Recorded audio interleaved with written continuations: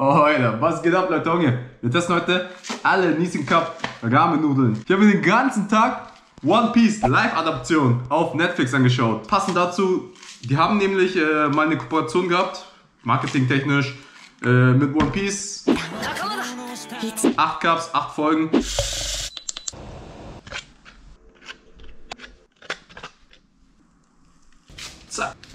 So, gut umgehen. Als erstes haben wir Roasted Duck Sweet Onion Soup, Alter.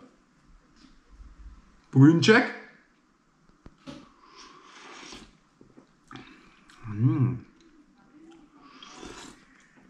Mm, okay.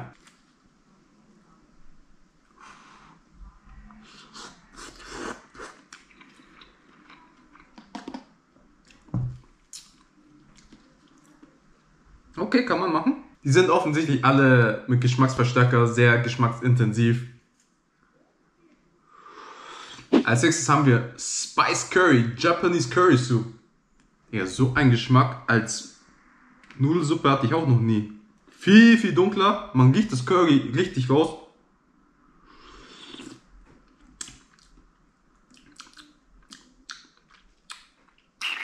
Okay. Okay.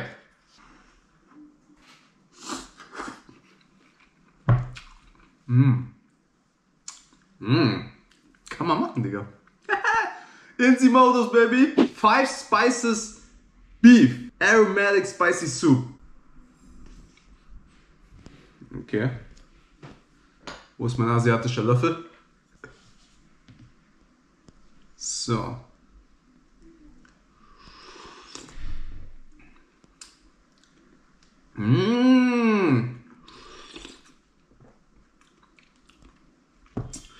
Kommt vor Brühe sehr nahe. Okay. Ich glaube, da sind auch Fleischstückchen drin, Beef. Dieses braune hier.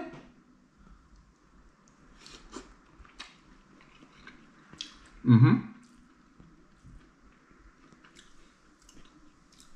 Das ist halt minimal Fleisch. Ich schmecke mehr Pap Paprika. Wahrscheinlich sogar zu viel Paprika. Äh, ich mag die Brühe. Ich würde sogar sagen, bisher die beste Brühe. Five Spices, okay. Wir machen weiter mit Classic Shrimps. Das gibt es sehr, sehr oft. Äh, Soy Sauce, Shrimp, Peppery, Shoyu Soup. Brühen Jack. Hm.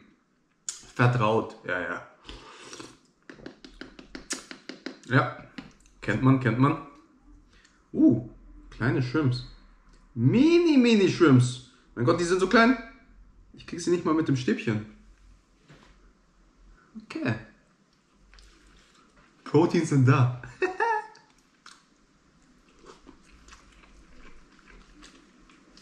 Pepper? Ja.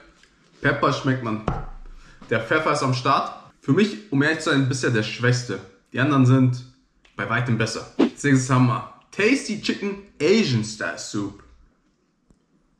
Das ist bisher die hellste und klarste Brühe.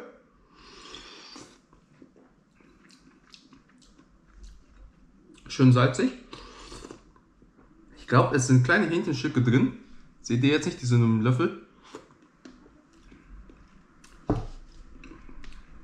Hat eine Nudel, also äh, Nudel, Hähnchensuppe Geschmack. Also so deutsche Suppe mäßig. Ja, das ist das Schwächste, dieses Chicken. Ist mir zu Standard.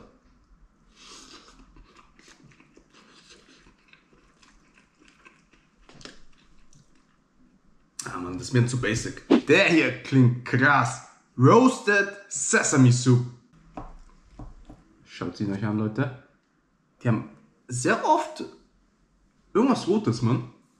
Also die Farbe Rot sticht bei vielen von diesen Cup-Nudeln heraus. Sesam ist in der Brühe. Oh.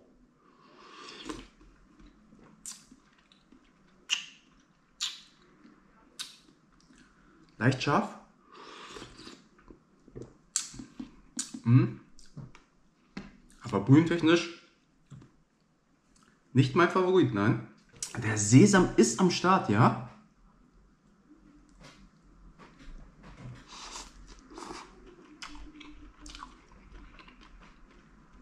Bringt nicht so viel. Da. Hm. Auch gar nicht so gut, muss ich ehrlich sein. Der haut mich nicht vom Hocker. Als nächstes haben wir Chicken schon wieder, aber Teriyaki. Auch eine sehr klare Brühe. Ist aber geschmackvoller als die davor, die andere Chicken. Haut mich auch nicht um.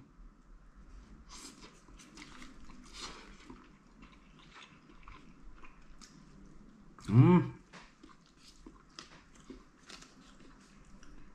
Asian Blast.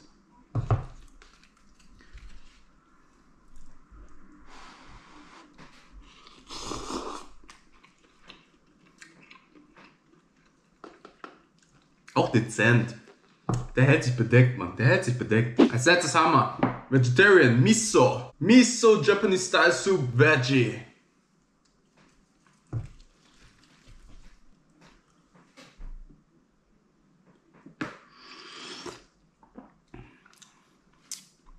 Mm, okay. Sehr ramenhaft.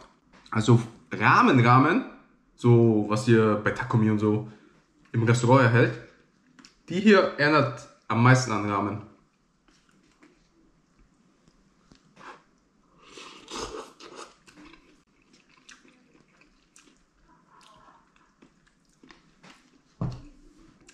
Ich muss sagen, es ist immer schwächer geworden. Die ersten, die wir gegessen haben, das waren die besten. So, schaut Leute, die drei sind die besten.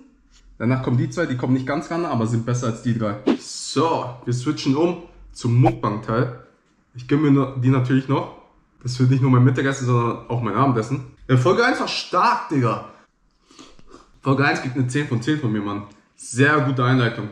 Umsetzung 10 von 10. Charaktere 10 von 10. Das Einzige, was halt direkt auffällt, ist, äh, Netflix will irgendeine Quote erreichen und besetzt so viele Schwarze wie möglich.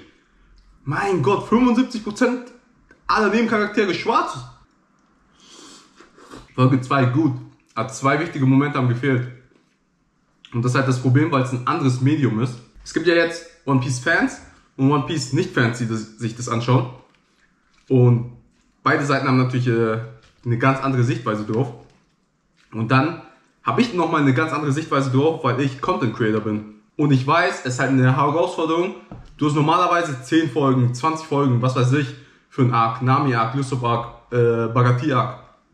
Und du musst es in eine Stunde verpacken. Du musst hier und hier alles äh, zerstückeln und dann hier unten nochmal neu zu einem, zu einem gesamten neuen Ding machen.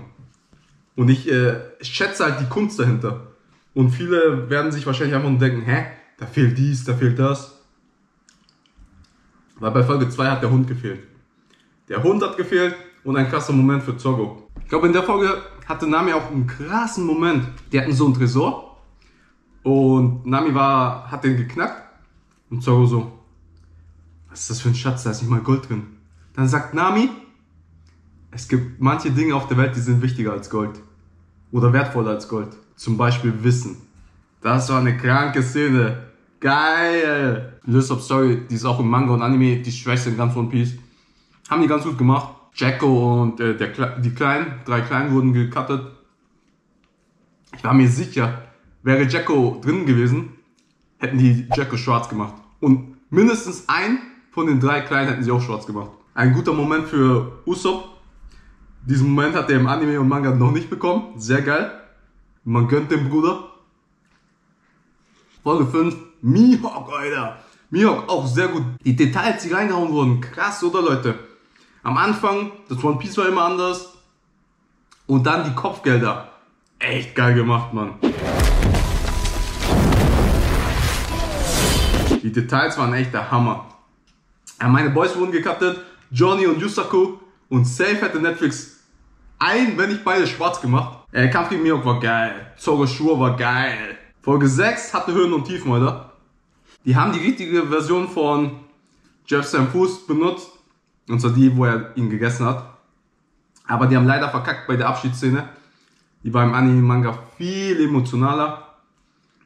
Geil war halt, dass Nami Zorro die Geschichte von Nolan vorgelesen hat, so ein kleines Easter Egg, So diese Details, die machen es aus. Da weiß man, die Leute, die das produziert haben, haben ihre Hausaufgaben gemacht. Folge 7, stark. Wo Along äh, Jimbei erwähnt hat. Richtig geil, Mann.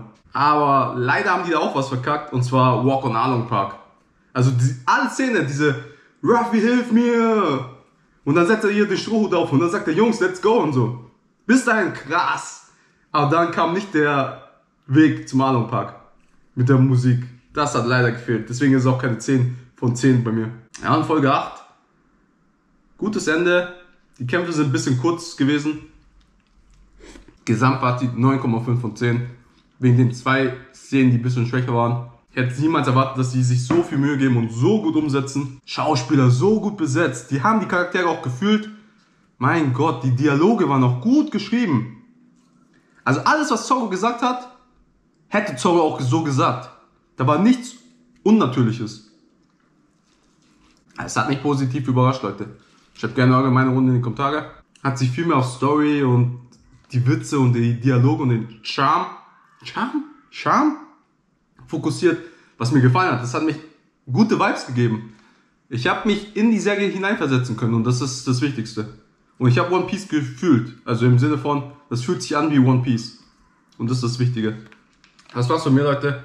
Und den Nissin Cup Ramen-Nudeln. Ihr wisst Bescheid, wie man liken, subscribe, kommentieren, checkt die Videos auf, folgt mir gerne auf Instagram, investiert Bitcoin, die ich und Crypto Cash Flow generieren jeden Tag, tracken Serious Business und ciao.